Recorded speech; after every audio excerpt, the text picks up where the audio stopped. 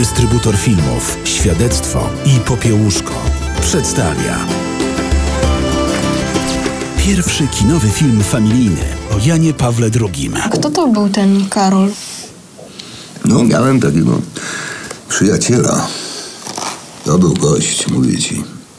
Pół świata przemeblował. Ja gram mamę Kacpra, która nie do końca chyba radzi sobie z wychowywaniem syna. Ja gram y, Kacpra wraz z moim bratem bliźniakiem Kamilem. Jest to 12-letni chłopiec, który wyjeżdża na wyprawę z dziadkiem na parę dni, gdzie uczy się, jak pokonać strach. Papież? Byłeś kumplem papieża? No, on wtedy nie był jeszcze papieżem. Dla mojego pokolenia Karol Wojtyła jest postacią szczególną. Ja pamiętam, że to zawsze było duże poruszenie, kiedy papież przyjeżdżał do Polski. To rzeczywiście była postać, która Polaków bardzo mocno trzymała chyba na duchu. Fantastyczny człowiek, bardzo ciepły, z którego emanowała absolutna dobroć i, i, i to wszystko, co robił, na pewno robił e, z absolutnym przekonaniem.